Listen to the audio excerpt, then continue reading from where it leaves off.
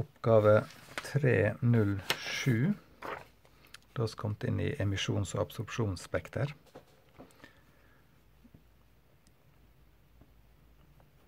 Og det er ikke så veldig mye nytt fra det som vi hadde i vår kapitlet, eller vår overskrift, egentlig. Det er emisjon og absorpsjon. Du har, du har ulike nivåer i atomet. Selv om i mer komplekse atom enn i hydrogenatomet, så er ikke formelen EN lik minus B delt på N i andre gyldig lenger. Det er mer komplekse formler uh, som gir oss selve tallene. Men tallene eksisterer, og nivået eksisterer. Og for å hoppe mellom to nivå, så må du motta et foton med akkurat rett energi, eller sende ut med akkurat rett energi. Og da er det en liten diskusjon i, som vi ikke skal ha nok så veldig mye om i, i det her akkurat-ordet. Altså, kan du ha akkurat den energien eller ikke? Ok, Så her er det da et kvikksølvatom, Hg, som har disse mulige energitilstandene. Laveste nivå 1, grunntilstanden. Her har minus 1,66 attohjul. Og ser at verdiene ligner. Det er der omkring. For hydrogenatom var det sånn minus 2,18 attohjul. Så går det oppover her, da. Hvilken bølgelengde har den strålingen som oppstår når, når atomet går fra tilstand n lik 6 til n lik 3? Så den hopper fra sjette nivå inn til en uh, tredje nivå i ett sprang, da, uh, og sender da ut eksakt ett foton med den energien som er eksakt energiforskjellen. Uh, fra Fotonet har EF ja, litt dårlig setning lik eh, energiforskjellen delta E lik E6 minus E3. da. Det er ikke sikkert det tilføres mye å skrive den setninga her, og kanskje jeg like godt bare kunne skrive EF er lik uh, E6 minus E3. Um, som altså er E6 er minus 0,26 atterhjul. E3 er minus 0,59 atterhjul. Så den minusen her, det er den minusen der. De andre hører til energiene. Så jeg får 0,59 minus 0,26. Hva blir det? Det blir 33. 0,33 ganger 10 minus 18. jul. Atto betyr 18. Ja, 10 minus 18. Ja. Så 59, 33 uh, Ja. Så den, slike energiforskjeller de, de gjør jeg alltid på en slik måte at de blir positive, for jeg skal jo putte inn i HF-formelen. Ok, Da har jeg funnet energiforskjellen, og så er det den samme gamle, da, at vel EF er lik HF. Og da begynte jeg kanskje å huske hvordan den går.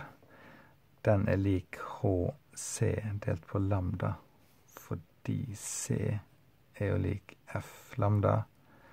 Og hvis jeg da må erstatte F-en her, som jeg må gjøre, da er den lik C delt på lambda. Og så får jeg det uttrykket. Ok, Så da har jeg EF lik HC delt på lambda. Den er jeg ute etter. Det er jo lambdaen. Så formelen min ser bedre ut, sånn som det her. Lambda er lik HC delt på EF. Det er den du får, men det er ikke noe han skal huske det. Det er slik han må mm, Du må ta det fra de kjente formlene, de som er i, tabell, i tabellen din, eller de, som, de grunnformlene, den her. Så ikke slå opp den formelen her sånn uten videre. Utled den på en sånn måte som jeg har gjort. Bruk 15 sekunder på det. Uh, OK. Og så er det bare å sette inn. Samme gamle regnestykke. 6,63 ganger 10 minus 34 hjulsekund. Det er H, Plancks konstant. Lysfarta 3,00 ganger 10 i åttende meter per sekund. Husk på siffera. Ikke skriv 3 ganger 10 i åttende, men 3,00. Og husk for all del enhetene. De må alltid med. EF den er da 0,33 ganger 10 i minus attende hjul. Ja, så hvis jeg mm, regner ut det du ser her at hjulen går mot hjul, sekund mot sekund. Og jeg sitter med meter, som jeg forventer. Alltid ta enhetene først. Eller sist, men ta dem hver for seg. Ta enhetene og så tallet. tallet. Regner du ut det, så får du noe sånn som det her. 6,027 ganger 10 minus 7 meter. Nå er det to ting her. Uh, vanligvis har jeg lyst til å runde det her. Nei, jeg mener, jeg har lyst til å skrive det som eh, nanometer. Uh, og det har jeg gjort noen ganger nå. Det kan du få gjøre ved å gange med 10 minus andre, og så er 10 andre. Og da får jeg nanometeren, altså 10 andre den gjengen her. Og hvis jeg da ganger inn, så får jeg 600. Og 2,7 nanometer som jeg da runda fort til 603 nanometer. Og egentlig hadde jeg vært fornøyd her, men og jeg ser et problem, og det er at uh, det her er tre gjeldende siffer. Mens den nøyaktigheten har ikke jeg. Jeg har kun to gjeldende siffer til rådighet. Så uh, hvis jeg oppgir det svaret her, så oppgir jeg det mer nøyaktig enn hva jeg faktisk har belegg for. Og det er et problem, selv om alle vet at Vel, sånn i, i det dagliglivet at det Vel, Ok, svaret her det er sånn ca. 600. Usikkerheten min ligger egentlig i det sifferet der, ikke det siste. Fordi usikkerheten her ligger i det tretallet der. Da blir usikkerheten her ca. i den nullen der. Så det her kunne vært 610, det er 614 der omkring. For den saks skyld er det 50, 59. Det er, ikke, det er ikke det tretallet der usikkerheten ligger. Så det tallet her er mer nøyaktig enn hva jeg, um, enn hva jeg kan ha. Enn hva jeg har opplysninger til. Og det er litt synd, fordi eh, enhetene mine de vil jeg gjerne ha som nanometer. Men jeg klarer ikke å runde av det tallet her til to gjeldende siffer. Det er umulig. Jeg kan ikke bare si 60. Jeg kan heller ikke runde av til 600, for 600 betyr sånn i matematikken og i fysikken her, det betyr tre gjeldende siffer. Det betyr 6, 0, 0, 600. Så jeg kan ikke runde av det tallet her. Uh, så jeg er egentlig nødt til å gå tilbake til den skrivemåten her. Skal jeg være her korrekt? Uh, for den kan jeg runde av.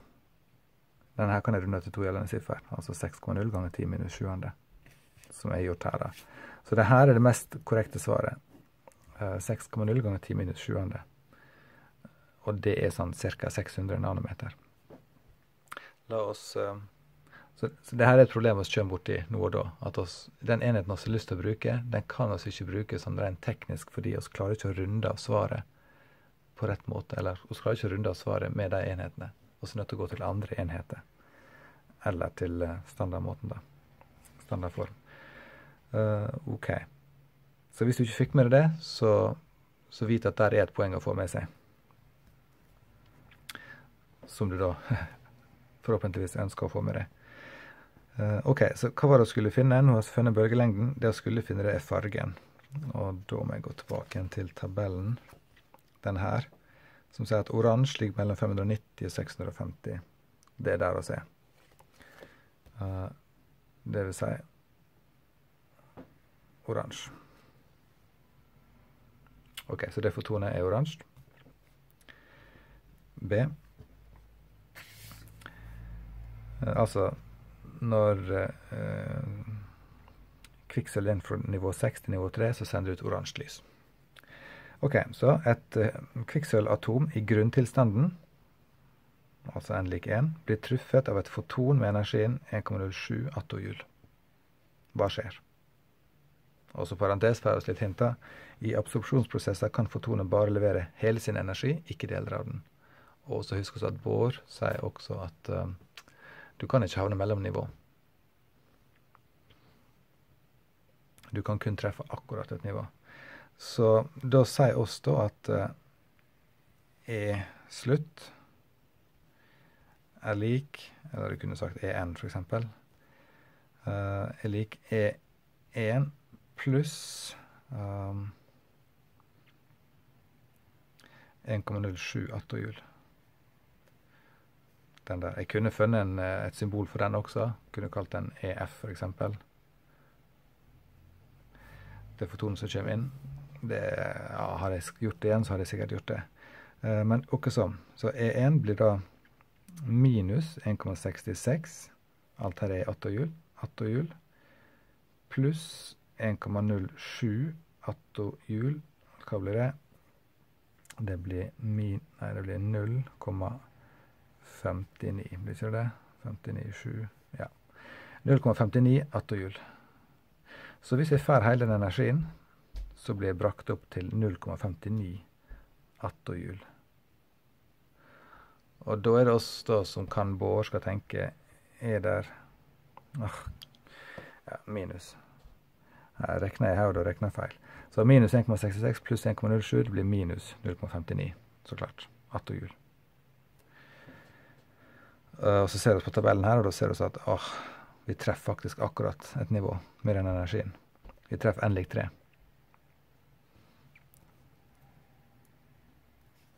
Dette tilsvarer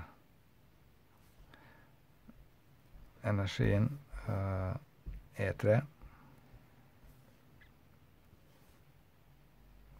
Så prosessen uh, kan skje.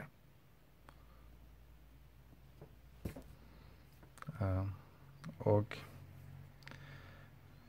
um, HG-atomet uh, blir brakt til uh, energitilstand E3.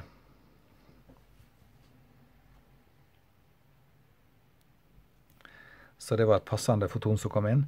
Hvis oss hadde blitt brakt til minus 0, så har jeg et minus altså her. Hvis det hadde blitt brakt til minus 0,57 attohjul, så hadde det blitt brakt litt utafor treen, og da hadde ikke det gått. Det hadde vært litt for mye energi. Hvis du hadde fått 1,09 attohjul, og da hadde blitt brakt til minus eh, Og så hadde ikke blitt brakt dit, men da hadde sluttenergien i så fall vært minus 0,57.